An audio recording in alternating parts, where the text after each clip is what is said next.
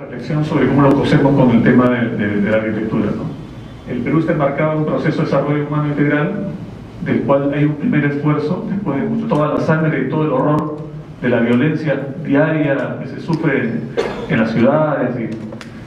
Es este, algo que nos desconcierta, porque en la vida real es, es, muy distinto.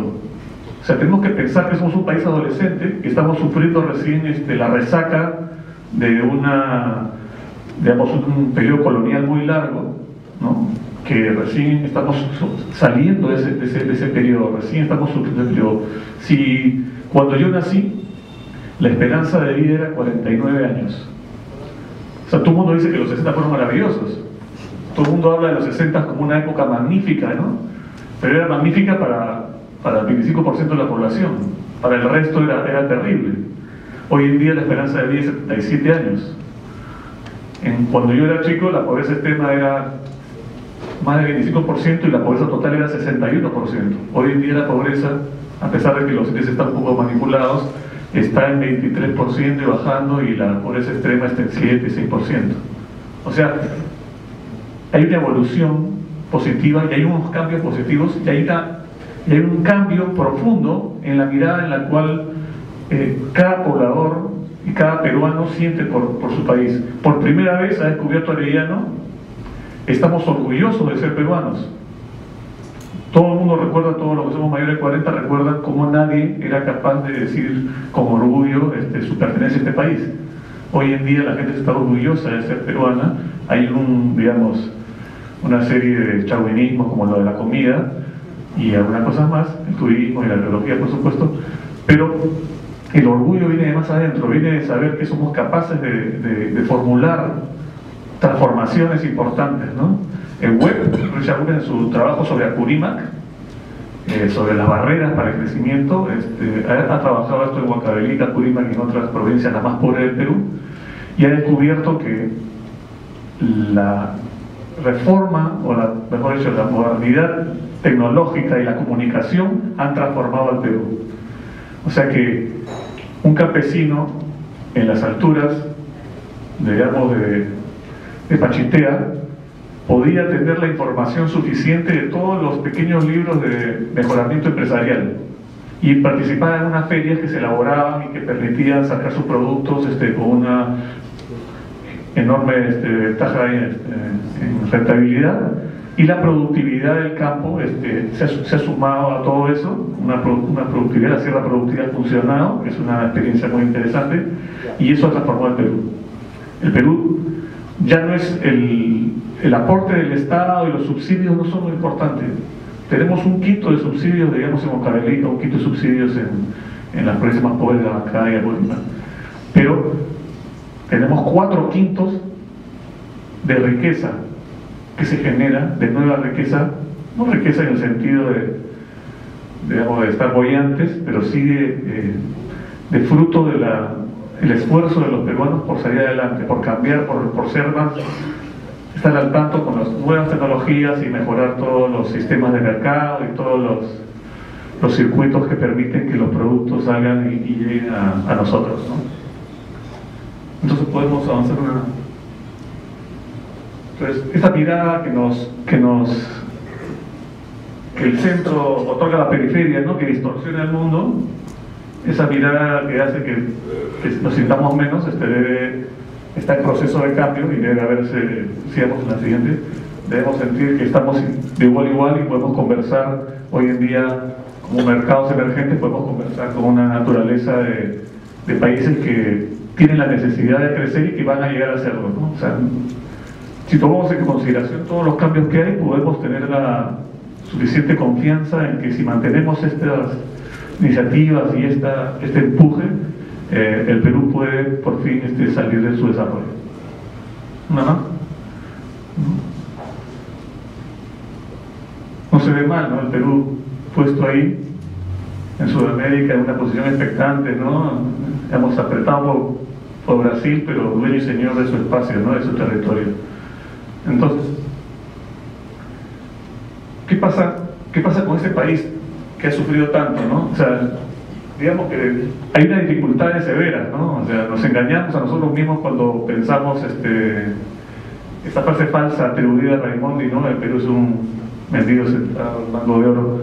En verdad, el Perú es un país complejísimo, ¿no? Un país con unas dificultades geográficas enormes que ha sufrido tantos problemas de dependencia tantos problemas de corrupción y por tanto no ha podido salir adelante. Pero tiene todos los recursos para hacerlo, ¿no? Hay una hay una serie de ventajas y riquezas en la biodiversidad, ¿no? O sea, tenemos este conflicto por ser tan complicado geográficamente, con un territorio que tiene 84 de 95 climas, que tiene una, una, variedad tremenda, con unos problemas de topografías muy severos y de climas muy severos en algunos casos, y que en verdad ese mismo, esa misma dificultad es, es su misma riqueza, ¿no? la riqueza de, de, productividad, la riqueza de apropiación, eso que el arquitecto Canciani ha estudiado tanto, que significa la capacidad de adaptarnos con formas de vida y de, y de productividad distintas según cada territorio, ¿no? eso que significa 15.000 años de cultura que se han ido apropiando de cada espacio y han descubierto maneras de hacerlo productivo y que nosotros este, fruto de la colonia y fruto de la exposición de lógicas distintas desperdiciamos, ¿no? Eh, ¿no? Entonces, el punto de vista para, para, empezar a pensar esto sería pensar el territorio, ¿no? El territorio, digamos, como no solamente una geografía, sino ese espacio de superficie donde se asientan las comunidades humanas y que es una construcción colectiva que hemos digamos que es un esfuerzo prolongado a lo largo de muchísimos años, ¿no? en todo caso vemos 15.000 años o más. ¿no? Entonces, lamentablemente, a medida que hemos este, sentido, siendo la ruta de las grandes potencias y siendo la ruta de las estructuras productivas este, extractivas que tenemos, hemos extendido nuestra ocupación sobre el territorio, ejerciendo demandas cada vez más este, exageradas y esos recursos que son, este, digamos, frágiles, ¿no? el territorio es una piel que resulta frágil, que hay que tener cuidado, que este, han, se han ido depredando y destruyendo, pero, digamos, estamos en el límite, en la oportunidad para poder controlar eso si tomamos conciencia de ello y tenemos, hacemos de este proceso un proceso cuidadoso. ¿no? Por supuesto que hay amenazas de todo tipo. El arquitecto, en este caso, eh, la, esto viene al caso en el sentido del arquitecto es uno de los mayores expertos en el territorio, o debería serlo. ¿no? El arquitecto puede convertirse en un experto en el territorio si tiene los aprendizajes suficientes, si tiene la conciencia suficiente. En el caso, por supuesto, de los, las, las regiones, hay una, un énfasis ¿no? en el conocimiento de las propias este, historias, geografía y cultura regional para poder llevar a cabo digamos, su acción eh, en todos los ámbitos en que se les solicite.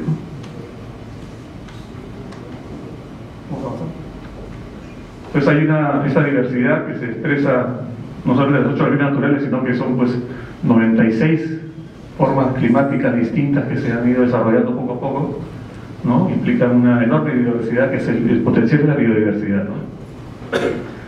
Tenemos las amenazas que vienen a continuación, o sea, tenemos de todas maneras una presión sobre el territorio enorme, ¿no? Bueno, ese es el tema de la, uno de los de las barreras principales para el desarrollo del Perú, la escasa digamos, este, red vial, la capacidad de comunicarnos con nuestro territorio y poder sacar los productos y, las, y los bienes y, el tránsito efectivo de las mercancías y las personas y los aprendizajes que van con ellas.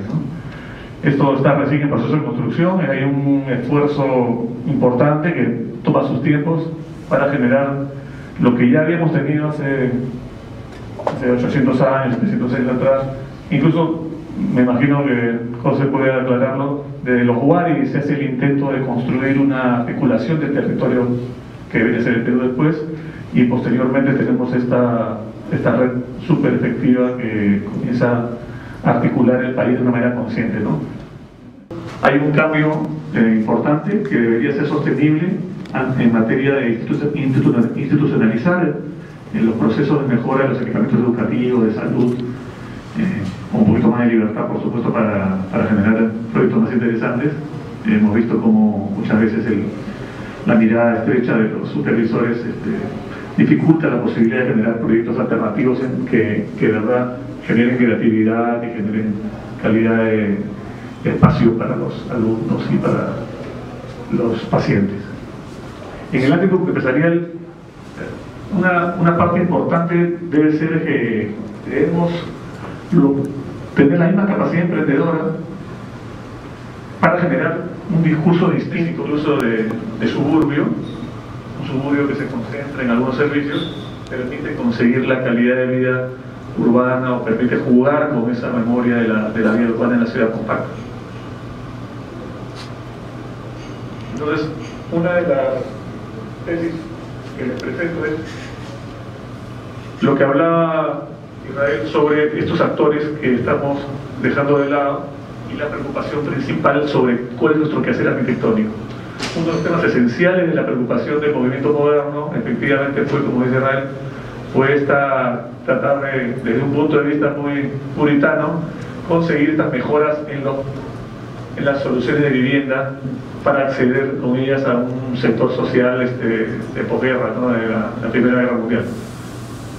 Nosotros tenemos acá un tema esencial que es los procesos de gestión inmobiliaria y desarrollo y la ausencia de oportunidades y proyectos del Estado que existieron, importantes, a pesar de que eh, uno ya las lee, uno lee la memoria lo que hizo Belabunde, digamos, en sus dos mandatos, que fue también un sector de una atención de proyectos emblemáticos diseñados para capturar el, digamos, el escenario arquitectónico de, una manera muy, muy, puntual, pero eran proyectos destinados a las clases medias, ¿no? Son proyectos, los de, originales de Santa Cruz y San Felipe y después en Atambo y San Borja fueron proyectos diseñados para clases medias específicamente y para el resto se dejaban unos lotes con servicios muy mal, muy mal este, ubicados.